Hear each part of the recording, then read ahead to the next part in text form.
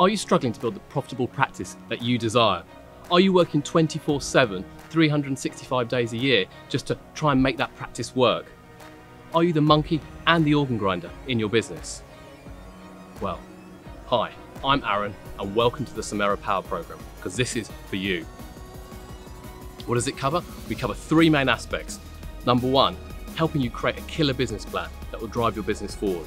Number two, we cover all the digital marketing, whether it's Facebook, Google, Instagram, we will do that all for you to dominate your local market. And thirdly, we get into the nitty gritty of the finances so we understand what the drivers of your business to help you grow your business. Sound good? Want some help?